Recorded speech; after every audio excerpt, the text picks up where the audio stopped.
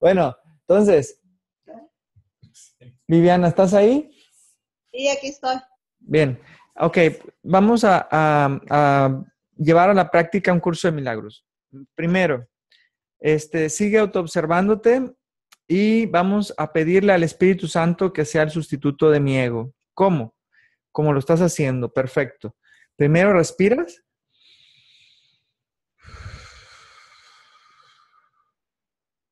Y después de la respiración puedes decir, gracias Espíritu Santo por enseñarme a percibir con amor. Gracias Espíritu Santo por enseñarme a percibir con amor.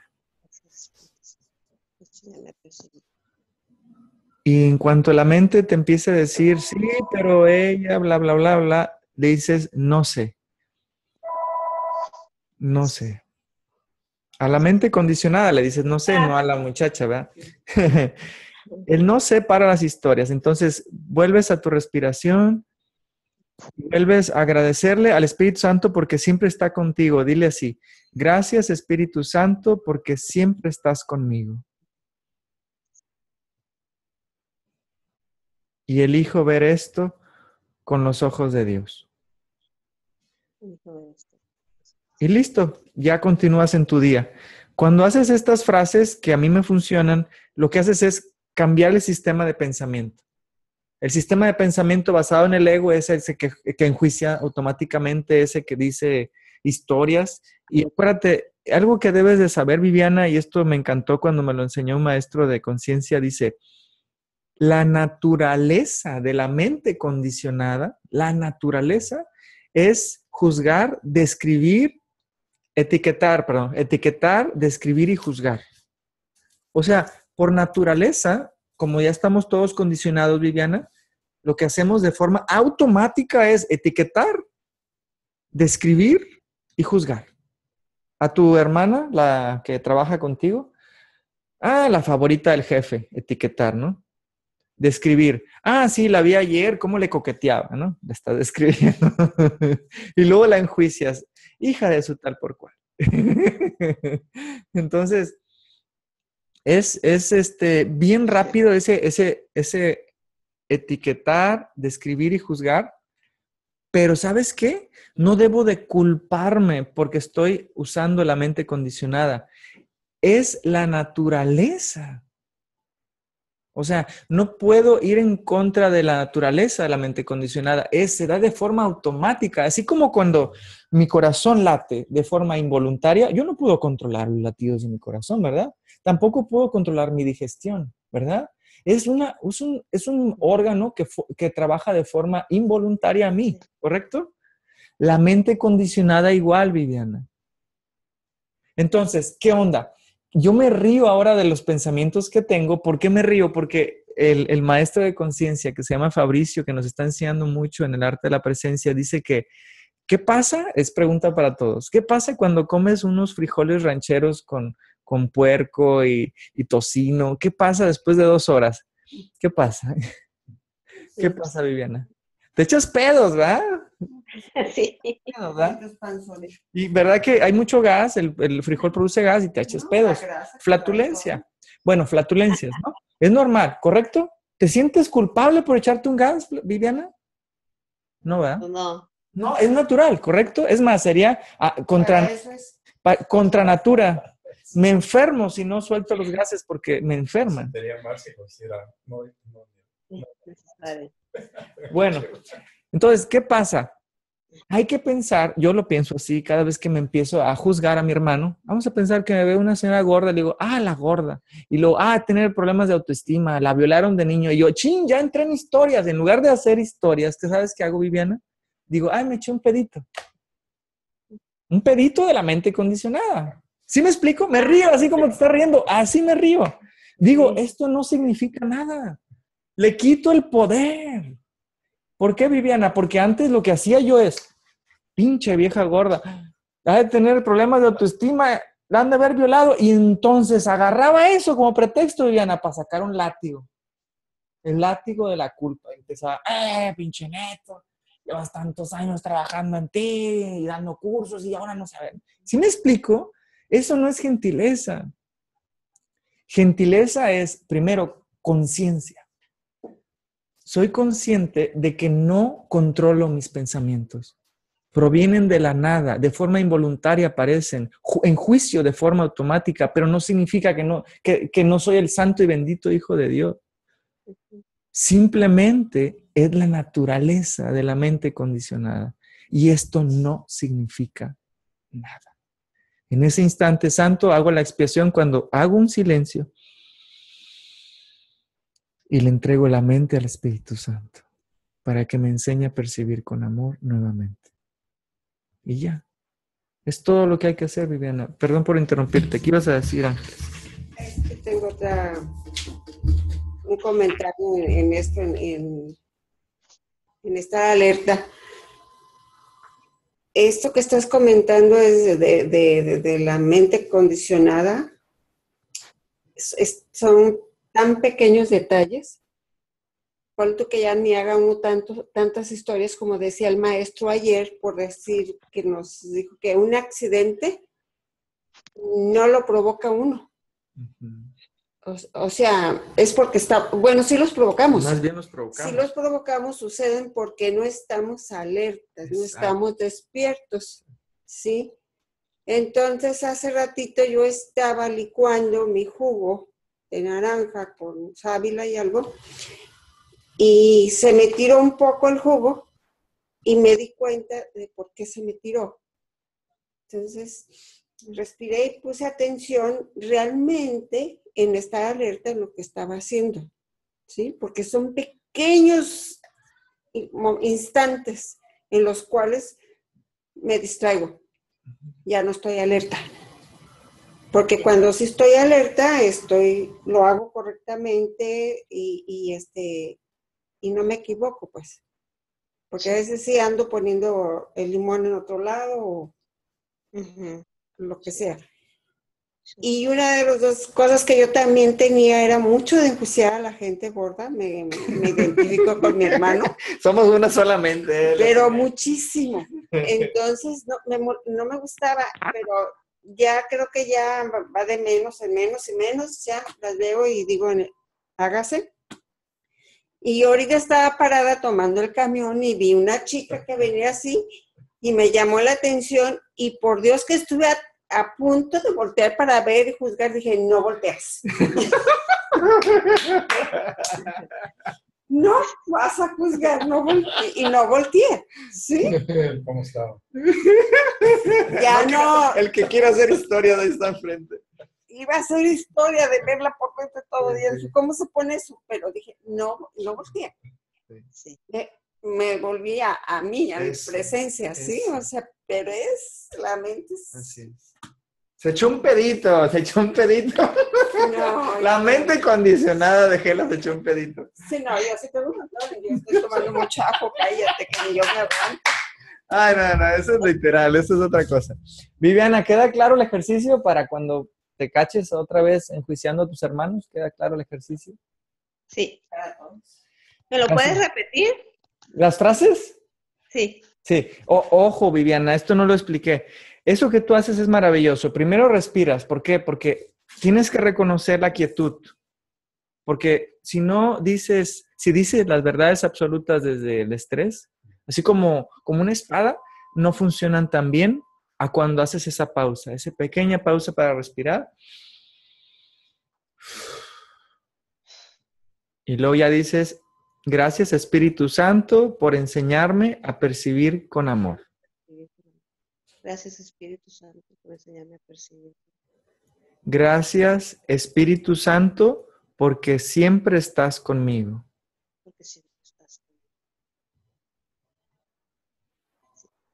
Y elijo ver esto con los ojos de Dios. Listo. Ya ahí hiciste el cambio, ahí ya hiciste la expiación. La expiación en un curso de milagros significa deshacer el error, corregir el error. ¿En dónde? En mi mente. Cuando dejo de usar la mente condicionada o ego y empiezo a usar al Espíritu Santo, el Espíritu Santo empieza a percibir con amor. ¿Qué es lo que percibe? No sé. pero yo ya, ya no estoy en control. Es Él quien guía mis palabras, mis pensamientos, mis emociones, mis actos, todo.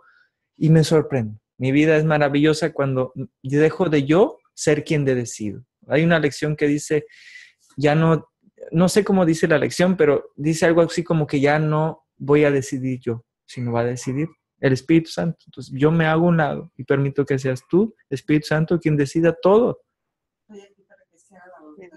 Estoy aquí para que se haga la voluntad de Dios. Entonces, es importante que nos hagamos a un lado para que sea el Espíritu Santo quien decida por nosotros. ¿Sabes? Bien, Viviana, buena pregunta. Y así que me gusta que sean los talleres de, curso Milagro Online que participen. ¿Sale? Bueno, vamos a leer la, la, lección siguiente. Le toca a Rubén. ¿Sale? Déjalo sentar aquí. ¿46 o 45? 45 o 46, ¿qué sí? 46. Toma tu agua, Argel.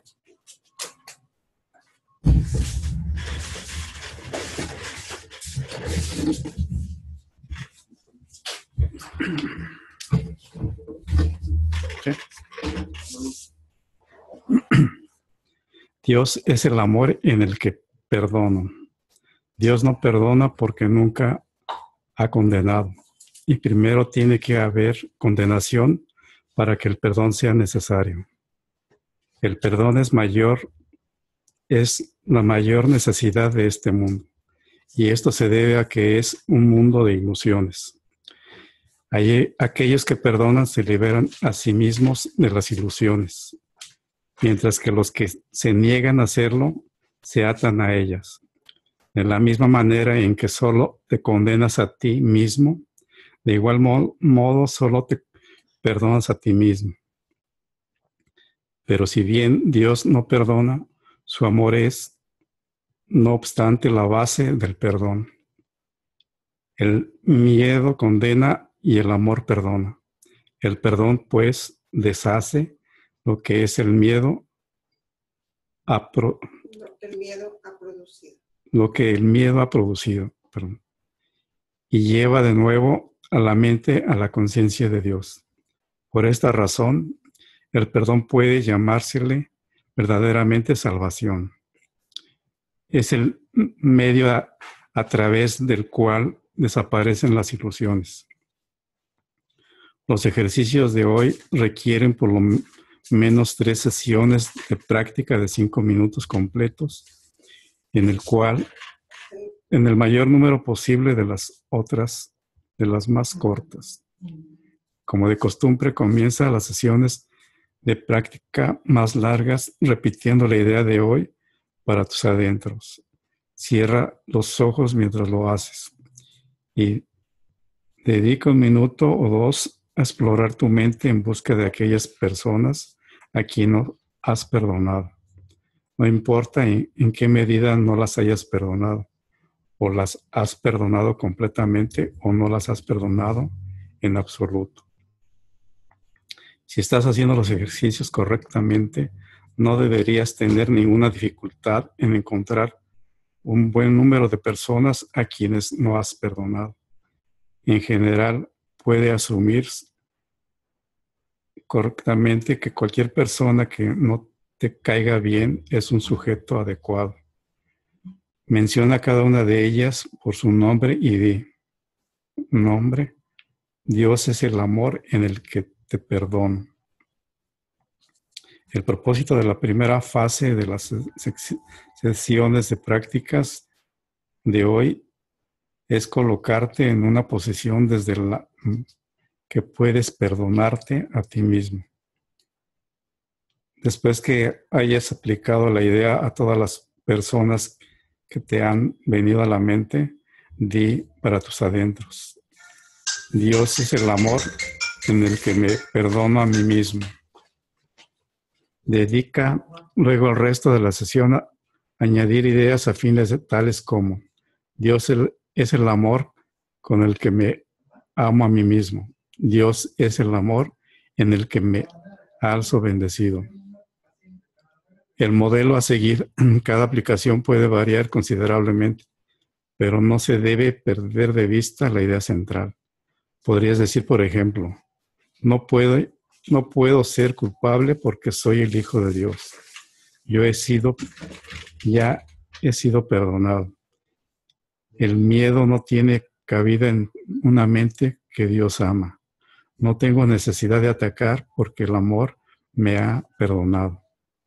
La sesión de práctica debe terminar, no obstante, con una repetición de, la idea de hoy en su forma original.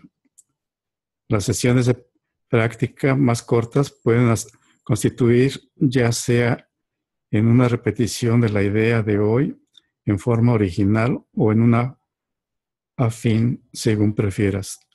Asegúrate, no obstante, de aplicar la idea de manera más concreta si surge la necesidad.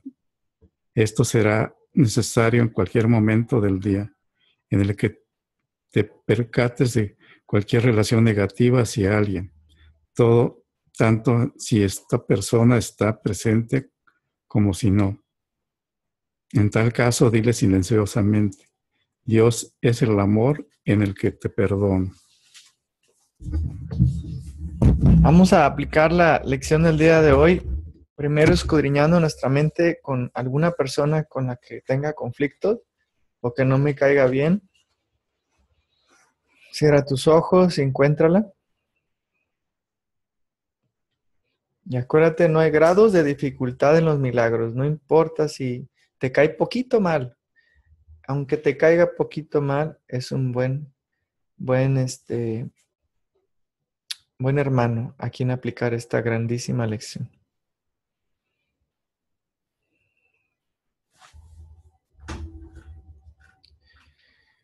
Y ahora di su nombre, el nombre de esa persona, de ese hermano.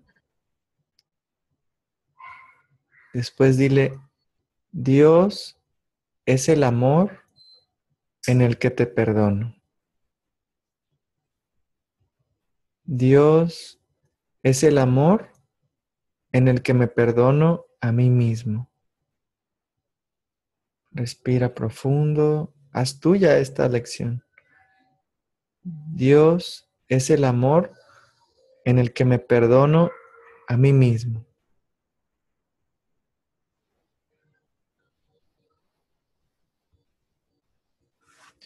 Dios es el amor con el que me amo a mí mismo. Respira profundo y lento. Dios es el amor con el que me amo a mí mismo.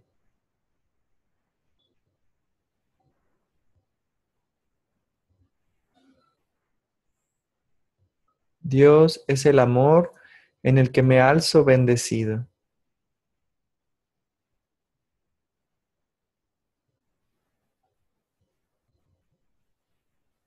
Dios es el amor en el que me alzo bendecido.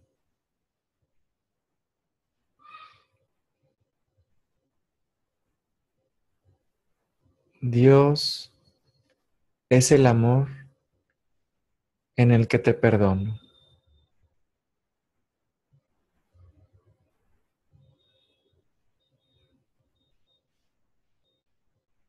Gentilmente amorosamente, abre tus ojos.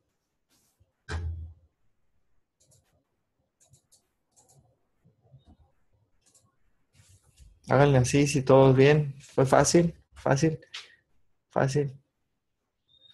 Aquí todo fácil. Fácil, ¿no? Está bonita, ¿no? Es necesario. Está padrísima. Para mí no fue fácil. A ver, hermanita, ¿por qué no fue fácil para ti? Sentir Pues, dolor de estómago. Ay, sí, como que me recordé a esa persona. Ay, dije, no, perdono.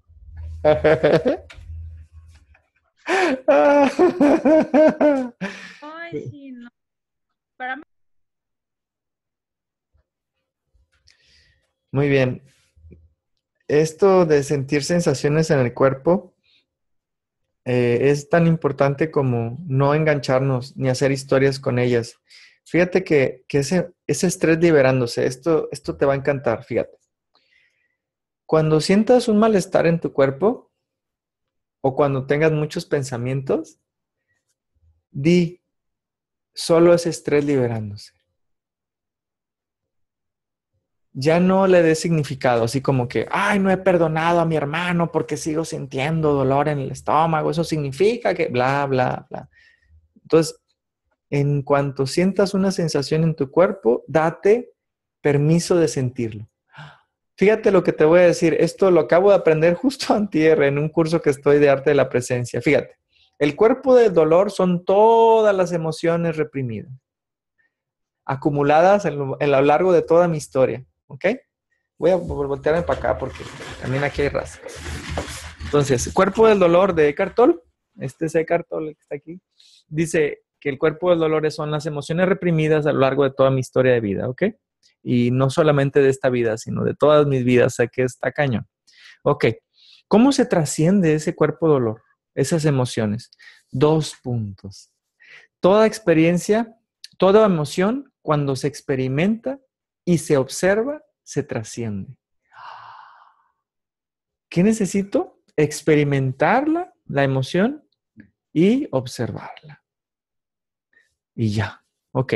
¿Cómo? Desde un no sé. ¿Sale? Vamos a hacer el ejercicio del no sé porque es importante. Judith, ¿quieres hacerlo? A ver. Sí. Ahí va, ok.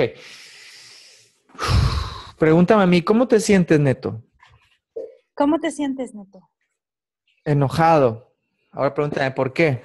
¿Por qué? Pues yo pienso que es por mi hijo, está en la adolescencia. Y como está en la adolescencia, me, me, es rebelde. Y como, te fijas, esa es la opción número uno, la de la mente condicionada, hacer historias, ¿verdad? Esa es la forma natural de la mente condicionada, hacer historias. ¿Sí la conoces esa forma, Judith? Sí. Ok, esa no nos funciona porque esa, esa opción es más solidificar al ego, ¿no? Mientras más historias hago, más solidifico al ego y más sufrimiento, carencia y enfermedad tengo, ¿correcto? Sí. Ok, la opción del Espíritu Santo viene, esta es la buena. Pregúntame, ¿cómo te sientes? ¿Cómo te sientes? Enojado. Ahora pregúntame, ¿por qué? ¿Por qué? No sé. Y ahora tú dime alguna historia que se te ocurra. No, no, no, no, déjame decirte cómo vas a atacar. Dime, Neto, no es cierto. Estás enojado porque tu hijo esto y esto y esto. O sea, ya te di algunas herramientas para atacarme. Así es que tú te vas a convertir en la mente condicionada. Empieza a atacarme desde la mente condicionada mía. Haz de cuenta que tú eres mi mente condicionada. Atácame. Y dime, no es cierto, Neto. Estás enojado por esto y por esto y por esto. No es cierto, Neto. Estás enojado porque las cosas no te salen como tú quieres, porque no ganas el dinero que tú quieres. Estás enojado porque seguramente tu esposa este, te cachó siéndole infiel estás enojado porque este, está súper mal tu negocio. Bueno, mientras me decías todo eso, no te escuché porque estaba diciendo, respirando, no sé, no sé, no sé, no sé, no sé. Pero ojo, no es un no sé como para darte un batazo, así de que no te quiero escuchar, no sé. No, no. Es un no sé porque hay una lección en un curso de milagros que dice, no entiendo el propósito de nada.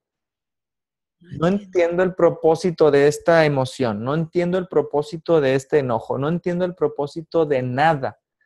Entonces, en lugar de decir no entiendo el propósito de, yo lo resumo a un no sé.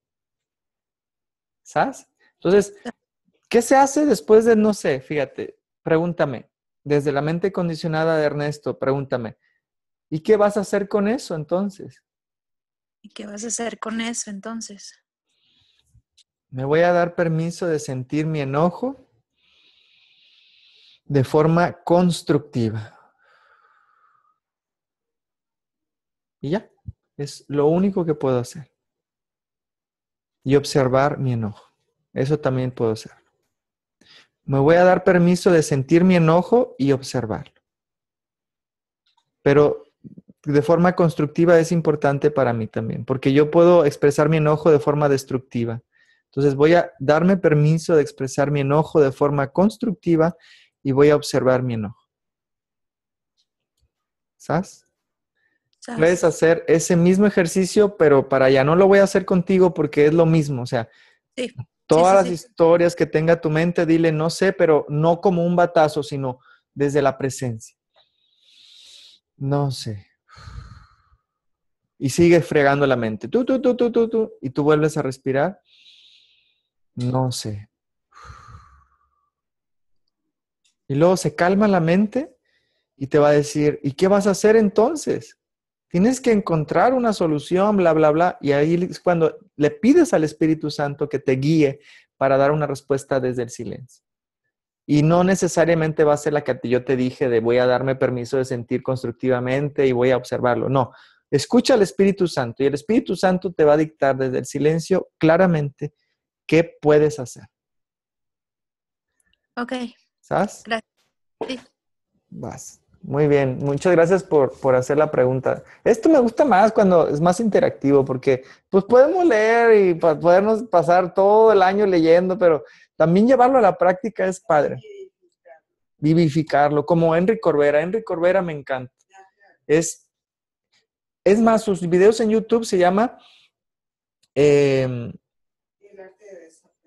y dice un... Ah, Aplicación práctica de un curso de milagro. Uno de sus videos más vistos en YouTube, así se llama, búsquenlo, es aplicación práctica de un curso de milagros. O sea, debemos, llevemos a la práctica el curso de milagros. No lo usemos como una herramienta nomás para leerlo el jueves y ya. No, no, llevémoslo todos los días, porque es todos los días cuando se puede aplicar. Todos los días hay que, hay que perdonarnos y perdonar a nuestros hermanos por, porque no hemos elegido paz, entonces todos los días podemos elegir alguna lección para volver a la presencia. De nada sirve venir o tener libros y no aplicarlo. Así es. Sí, es como ir a la escuela y aprender el inglés y no aplicarlo tampoco. Elizabeth, ¿iba a hacer una pregunta, Elizabeth? Sí, te quería preguntar, a ver, eh, buenas noches. Buenas noches. Eh, em, yo hace poco estoy tomando las clases de un curso milagro y ha sido muy beneficioso para mí.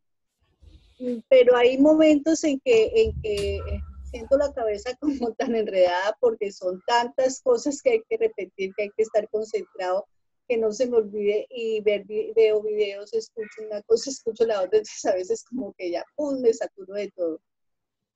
¿Qué debo hacer en ese momento? Buena pregunta. Yo cuando eh, iba a un curso de milagros con mi maestra Magali, yo me apuntaba a las lecciones que resonaban con mi corazón. Me di cuenta que, que, bueno, yo estuve en texto, eso tuvo mucho que ver, o sea, no, no estuve en, en, lecciones, entonces no era así como que, hoy vamos a hacer la lección tal, no, no, no. Era simplemente leíamos el texto y luego la maestra Magali decía una frase que tocaba mi corazón y en cuanto encontraba una frase que tocaba mi corazón, yo la ponía así grandototota o le ponía, yo le pongo paréntesis y la circulo a las más padres. Entonces, en cuanto encontraba una lección de un curso de milagros que ella decía, la anotaba así y la usaba durante toda la semana. Y usaba esa frase, o sea, yo la de perdono esto y lo veo de otra forma, la usé muchos años. No crees que días, años son tantas que, que, que, que, llega un momento que son tantas que dice uno, tú tienes muchas palabras y muchas cosas que, en el día estás enviando, dice, esta me llegó, esta me llegó, y entonces repito y vuelvo a la otra y sigue, cada vez me llega más. No, pero no, no tienes que, decir todas, elige una para toda la semana. Ok. Fíjate, fíjate lo que me dijo mi maestra Ishaya cuando, cuando regresé a la ascensión.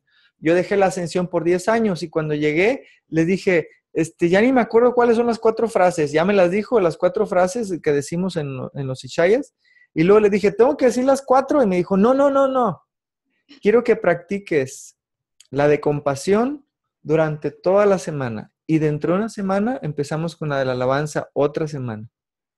Y así nos la pasé toda una semana a gusto, una sola frase de compasión durante una semana, fue maravilloso. Fue, fue, fue un, un, volver a la ascensión desde la compasión y fue gracias a que una maestra me dijo, no te satures, solo elige una, la compasión, órale, esa, en toda la semana. Entonces, tú igual, Elizabeth, te doy la misma indicación. Elige solo una lección la que resuene con tu corazón ahora, no ayer, ni, ni mañana, ni nada, no, ahorita, en este instante santo. que acabamos de hacer de Dios es el amor en el que perdono, fue, eh, o sea, en este momento siento como una tranquilidad porque la hice con un hermano que no me hace mucho tiempo y, y, y pues me, me, sentí bien, haciéndola la hice muy a conciencia muy, y me, me, fue muy bien ahí. Bueno, practícala, no te voy a decir una semana, practícala hasta que tú sientas que puedes avanzar con otra lección más. Pero no significa que mañana viene otra en el WhatsApp, ahí ponemos lecciones diarias y no significa que mañana tienes que decir la de mañana. No, no, no.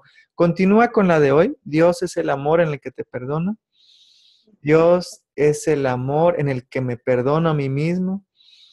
Dios es el amor en el que me alzo bendecida. Y puedes practicarla durante todos los días que quieras. Y deja que el mundo siga con el curso de milagros y que no importa que ya se van en la 40 o que van en la 50, tú no Siento que, uy, me voy a atrasar, eso no estoy al día, ¿qué No, está pasando? No, no es así. No es así. No es así. De hecho, yo, yo te puedo decir que, que me gusta la forma como, como lo he hecho yo. Es que es personal. El curso de milagros es personal. Yo no me baso, yo no me baso en, en que hoy me toca la 45, hoy me toca la 46. No, no, no, no. Yo lo practico así. Me tocó a mi corazón una y la practico durante todo el día o mañana también, pasado mañana, y hasta que mi corazón o hasta meses o años, y luego de repente llega de forma natural otra, porque de- llegan de forma natural. Puede Sí. ser que nunca hayas escuchado los audios que mandamos en el grupo y de repente, hoy voy a escuchar este. Y viene otra que resuena con mi corazón y otra, otra temporada con otra lección. Entonces, no es así como que, ay, debo de hacerlo así como que de escuelita, ¿no? De perfeccionista, ¿no? Corrigido. Ok. No, Mente programada. es mente condicionada el estar de perfeccio- perfeccionista, exactamente. Sí, sí, sí, sí, correcto. Conflicto, estás en una mente condicionada y Así no es. estás permitiendo que te fluya Así es. vivir una lección desde la mente de Dios. Así es. Entonces vamos a soltar el perfeccionismo. ¿Quieres hacer un ejercicio de perfeccionismo, Elizabeth? Sí, Para quitarte el perfeccionismo. el que hiciste ahorita, No, no, es nuevo. Este ejercicio es nuevo. bueno, dale. Mira, cuando yo fui a un taller de T. Harv Eker, es un señor que habla sobre muchos temas, incluyendo la libertad financiera. Él pidió que pasara al estrado una o un perfeccionista y pasó una señora y te va a hacer la pregunta, eh, yo te voy a hacer la pregunta que él hizo al- a, la señora esta, ¿sale? Ahí Sí. te va, ¿lista? Lista. Ok. Ay, Dios. ¿Sabías, sabías que, sabías tú que todo el mundo, incluyendo a todas las personas, incluyendo a toda tu familia, incluyendo a todas las personas que conoces, todos somos perfectos? ¿Sabías eso? No. ¿No sabías eso? Bueno, si me hubiera dicho sí, si todos somos perfectos, te diría esto. Sí. Todos somos perfectos y todo el mundo es perfecto hasta que tú llegas. Porque tú eres la que juzga y encuentra las imperfecciones. Sí. Entonces, ese, ese, ese taller, cuando dijo esa, eso a esa señora, me llegó el 20 a mí. O sea, yo también soy perfeccionista. O sea, que es cierto, mi hijo es perfecto, así como es, No, hasta no que yo llego. Pues sí. Y cuando yo llego a la casa y veo que es un desmadre, ¡ah! Todo está perfecto, Sí. pero yo llego y no me gusta. Exacto. Y- y. Igual con el mar, o sea, puede ser que el mar sea perfecto y llego ahí, oh, tiene muchas olas hoy y no está clarito. Hay mucha piedra. Eh, Y hay mucha basura aparte. Y hay mucha piedra. O sea, hello, o sea, la perfección de esta creación es mucho más arriba que mi mente condicionada, chiquitita, mi mente condicionada en lugar de, en comparación a toda la creación que es pedagógica y perfecta. O sea, es demasiado para mí esta mente condicionada. Sí, sí, sí. Entonces, ¿queda claro de la lección? A elegir paz, a elegir paz para poder percibir con amor. Ok. Gracias. Muchas gracias. Bueno, ¿continuamos o, o alguna otro? Ahora andan muy participativos, qué chido, qué chido. ¿Algún, ¿Alguna otra cosa que quieran compartirnos antes de continuar con la última lección? ¿O, o ya le leemos la próxima? ¿Todo bien? Aquí hay una mano levantada. Yo quiero leer Ah, qué bien, qué bien. Entonces te toca la 40 y... 37. Déjame ponerla en pantalla.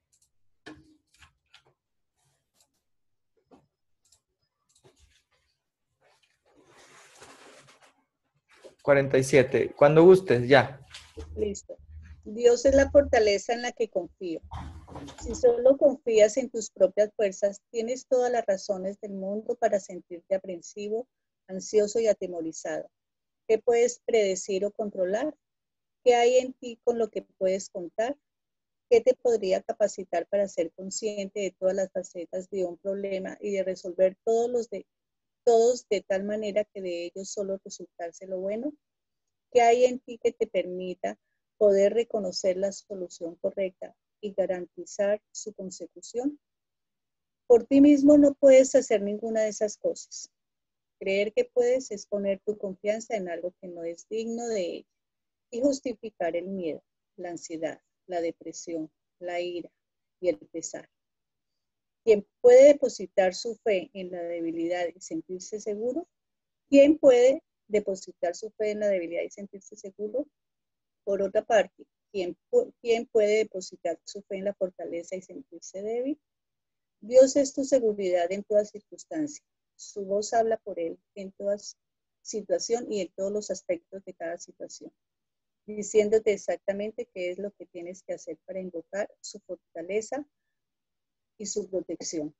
En esto no hay excepciones porque en Dios eh, no hay excepciones. Y la voz que habla por él piensa como él. Hoy trataremos de llegar más allá de tu debilidad hasta la fuente de, de la verdadera fortaleza. Son necesarias hoy cuatro sesiones de práctica de cinco minutos cada una, aunque se te exhorta a que hagas más y a que les dediques más tiempo. Cierra los ojos y comienza como de costumbre repitiendo la idea de hoy. Luego dedica un minuto o dos a buscar situaciones en tu vida que haya revestido de temor y desecha cada una de ellas diciéndote a ti mismo, Dios es la fortaleza en la que confío. Trata ahora de deslizarte más allá de todas las preocupaciones relacionadas con tu propia sensación de insuficiencia. Es obvio que cualquier situación que te acusa causa inquietud eh, está asociada con sentimientos de insuficiencia, pues de lo contrario creerías que puedes lidiar con la situación con éxito. Confiando en ti mismo no es la manera de adquirir confianza, mas la fortaleza de Dios en ti tiene éxito en todo. Reconocer tu propia debilidad es un paso necesario para la corrección de tus errores, pero no es suficiente para darte la confianza que necesitas y la, a la que tienes derecho. Debes adquirir asimismo la conciencia de que, confiar en tu verdadera fortaleza está plenamente justificado en relación con todo y en todas circunstancias. En la última fase de cada sesión de práctica, trata de llegar muy hondo dentro de tu mente a un lugar de verdadera seguridad. Reconocerás que has llegado cuando sientas una profunda sensación de paz, por muy breve que sea. Despréndete de todas las trivialidades que bullen y burbujean en la superficie de tu mente y sumérgete por debajo de ellas hasta llegar al reino de los cielos. Hay un lugar en ti donde hay perfecta paz. Hay un lugar en ti en el que nada es imposible. Hay un lugar en ti donde mora la fortaleza de Dios. Repite la idea frecuentemente en el transcurso del día. Úsala como respuesta a cualquier cosa que te perturbe. Recuerda que tienes derechos a la, derecho a la paz porque estás depositando tu confianza en la fortaleza de Dios. ¿Listo?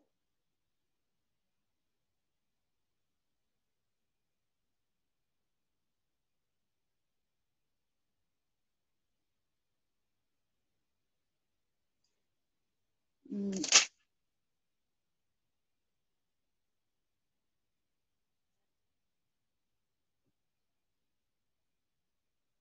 ¿No más?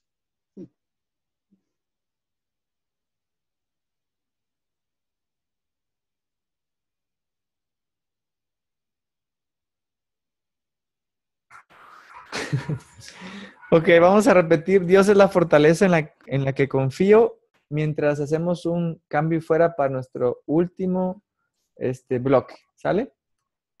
Ok. Cambio y fuera y seguimos repitiendo, Dios es la fortaleza en la que confío.